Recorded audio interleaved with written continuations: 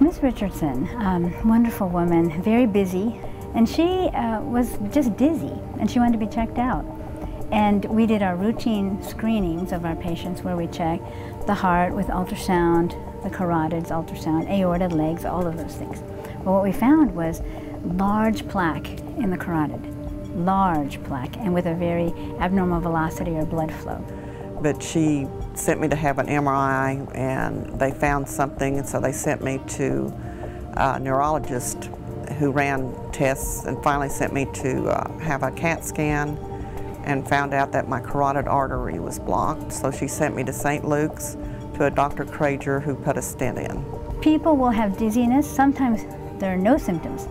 So silence is not golden here. Silence is deadly.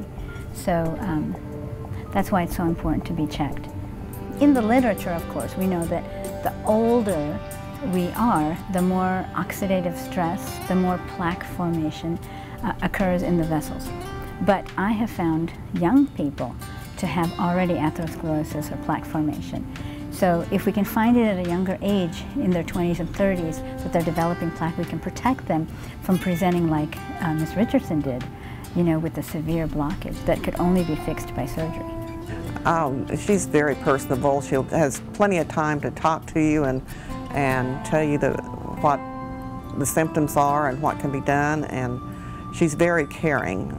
Carotid disease can also present with symptoms of numbness or tingling, difficulty speaking, changes in the facial um, shape. Basically, people may not be able to smile or maybe they've had small strokes uh, where they can't move their face or speak or move their arms or legs uh, like they used to. So those things should be checked even if they're subtle.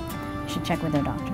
Um, when you find a doctor that you can recommend to your friends and to your family, it's great. I'm not a big fan of doctors, but I just love her to death.